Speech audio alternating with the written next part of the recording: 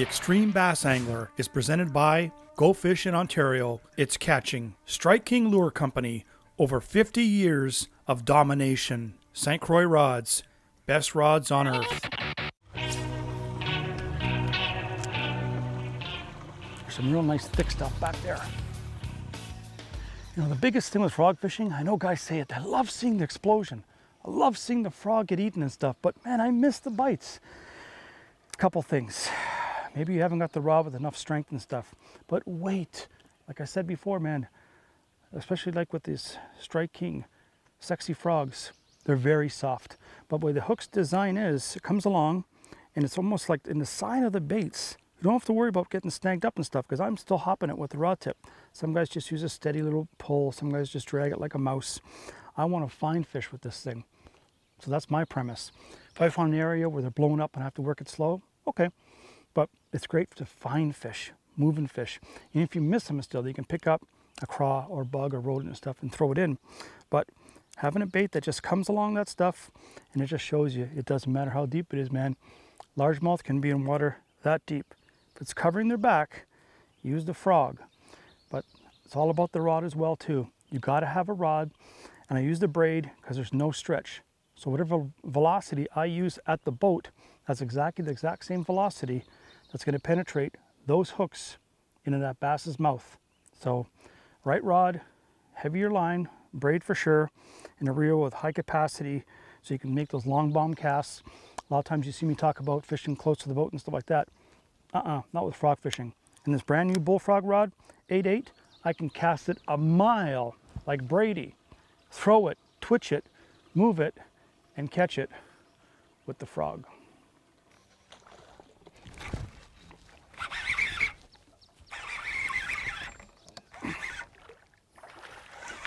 Sort of like that.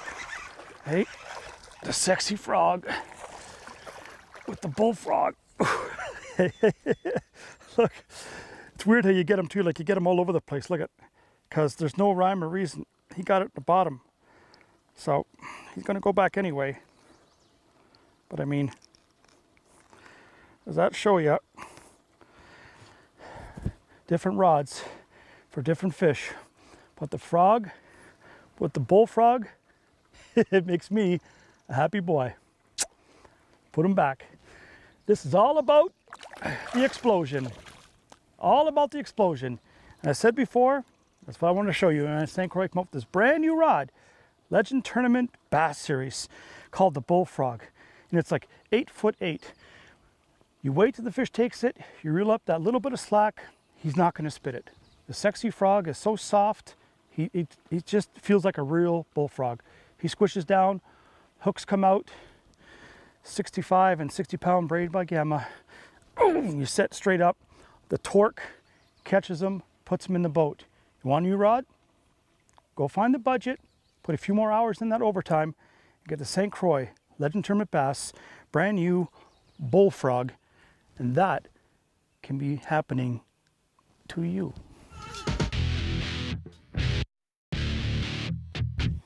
Need some more cover. Need some more thick stuff. I don't bring it all the way back. I put it in the good stuff, fish the good stuff, get it back in, put it back out. They get mad when it goes over their head. There's some pads right here in front of me.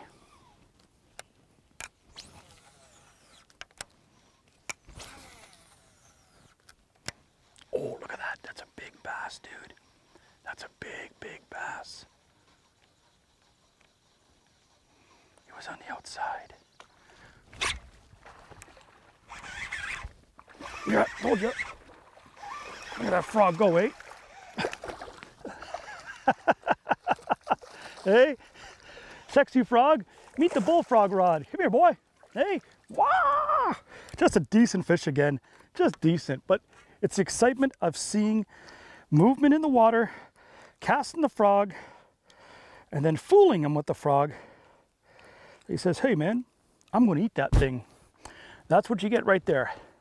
No giants today, but boy, oh boy, that little sexy frog by Strike King matched with the 60 pound torque gamma and the brand new bullfrog rod.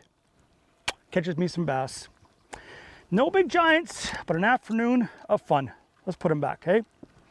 Let's put them back. Ready? Go on. Looking for some fun? Looking for some excitement? Look no further than the Sexy Frog by Strike King. Find the heaviest, nastiest stuff you can get into. Things where you think, kind of shallow, man. Other guys that are going by on their boats, I watched three boats go by here, just driving by, going to different stuff, just thinking it's too hot, too shallow, too sunny for bass, and we're catching them. Wow.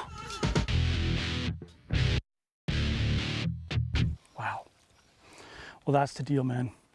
Strike King Sexy Frog with a strong gamma torque, velocity, hook set, strength, whatever that 8.8, you know, heavy power sets at the boat, it's exact same velocity that that metal meets the meat in the bass. Pick the right rods, like the ribbit bullfrog, and you are going to catch them too.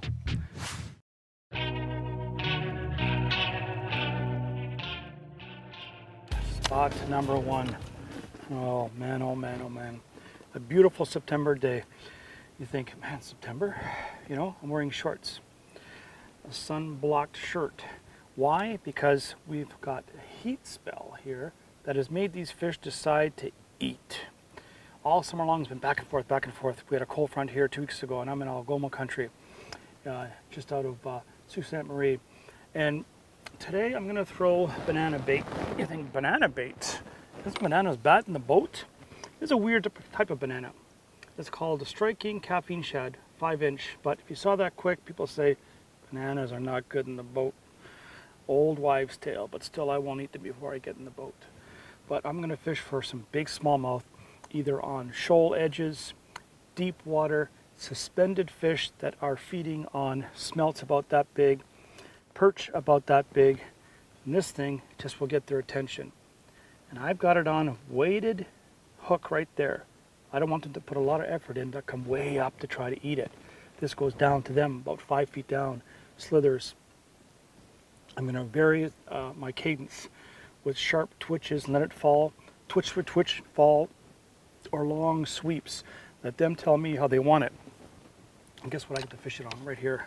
Brand new St. Croix Legend X. Sensitivity, craftsmanship, this is the cream of the crop. Wins all the prizes and stuff. 7-1, medium heavy. I got some that are heavy action, but all are exact same low profile reel.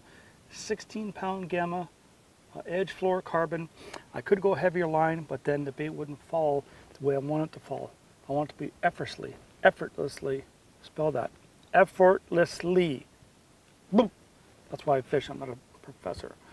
So, we'll work those edges and stuff let it fall. Let's see if the fish are right in the weed on the edge of the points.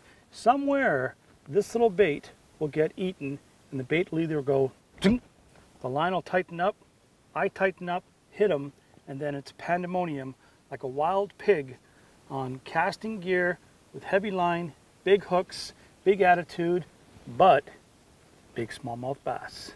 Let's go and have some fun with my banana bait.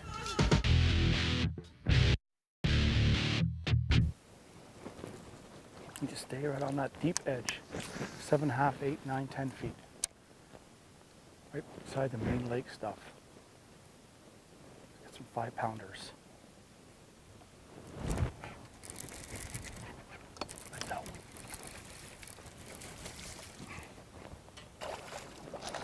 That's what I'm talking about right there.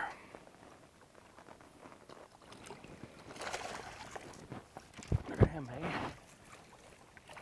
eh? on a shad bait, eh? It doesn't matter when you go to spots where they're feeding, and they're feeding right now. Look at that right there. They're feeding on these weeds, on big perch. Like I'm getting knocked almost every second cast by a perch.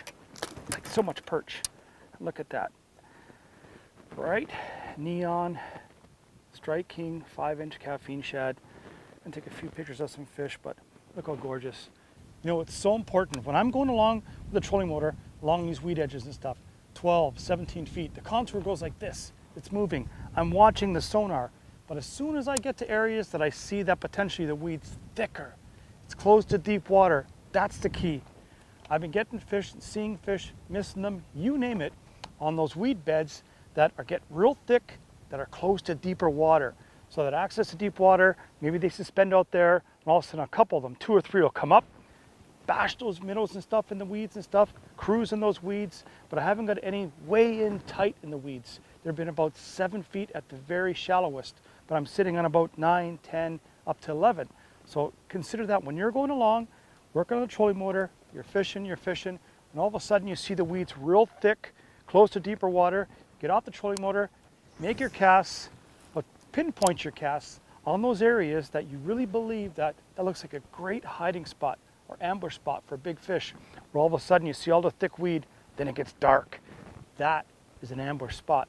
So we make your cast, I let it go down, I twitch, twitch. Remember when it's falling, it's going all over the place. Those fish see it. it it's lights out, man. That bright chartreuse banana, it's crazy. They see it, they eat it, you catch. Now, you see, I don't make those real long bomb casts. When I'm between weed beds and stuff, I'll make the long casts. But traditionally, right in front of the boat, I'm watching what I'm fishing. You know, I'm just not throwing it anywhere. I'm watching where the weeds are, or if I'm on a point and things like that, where it's going down, I make my twitches. Now, a lot of times when you feel that bite, let's knock, and you don't see it, because that's the beauty of the banana too. You say to yourself, the banana, chartreuse. I tell you why I use the chartreuse too. I can see it a distance away when it just disappears. And sometimes I've seen it go three feet, four feet, or just disappear. When that happens, make sure I tighten up and I set. That's all I do. That's it. Just set sideways. You don't want to rip it upwards and stuff, but make sure that your line is tight. Don't have lots of slack when you set hook because I'm telling you, you'll just be heartbroken. Fish holds onto it. You want to make sure that that weighted hook comes out of there, finds the metal, finds the meat, you'll catch the fish.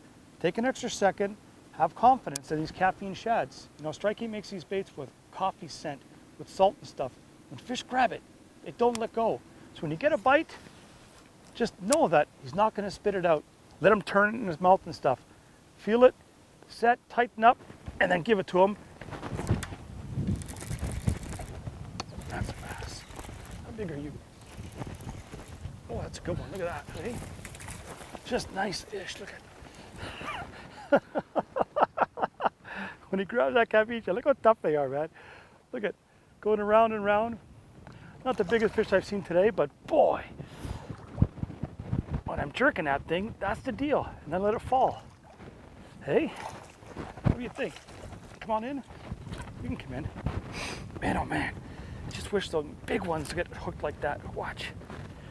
Look, right through the cheek, right there. There's no way, no way, Jose, until I go like this and still try to get it out. Look, maybe two pounds. I'll let them go right away because we're looking for of five pound aunts and uncles and stuff. But look how nice that is, eh? Just a gorgeous bass, man. Let's let them go right here. Ready? Go on. Go on. Hey. And I'll talk about color. You say to yourself, you know, I can see down about seven, eight feet of water. You say, okay, it's fairly clear down there. You know, I can see the bottom. You know, the fish will kind of be spooky and stuff. Uh-uh. Think chartreuse. Think they see it. It provokes them. Smallmouth they're so much different than largemouth. It's not saying anything about largemouth and color and stuff like that. Whatever you find in confidence, you use. But when I'm fishing clear water, whether it be Lake St. Clair with big spinner baits, chartreuse blades and stuff like that, or this water here, working deep weed beds with a weighted hook for smallmouth with a caffeine shad, the chartreuse, whether it be 10 feet of water or 30 feet of water, I don't care what it is. Think chartreuse, think they can see it, think big, and they will eat it. Have confidence in the chartreuse because I'm telling you, this bait catches smallmouth everywhere.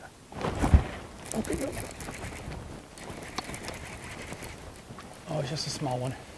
He's still a decent fish, look. Oh no, he's small, but hey, just finished saying in a corner, eh?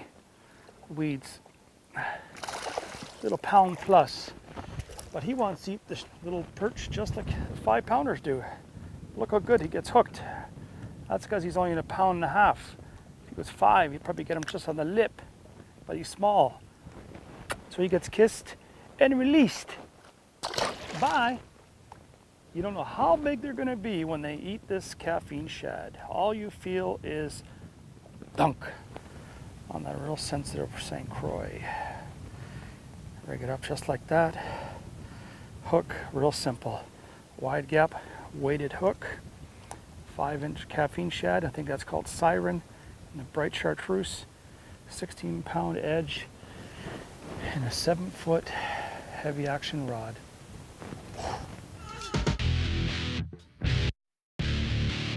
Wow, perch are here. Ooh, boy. Ooh, I just saw a big flash. Wow, there he is too. Oh, you are big. You are big. You are big. I knew I seen a flash. Wow, maybe you seen the boat. Wow. Sometimes you can get them. It goes underneath the boat, shaking your bait.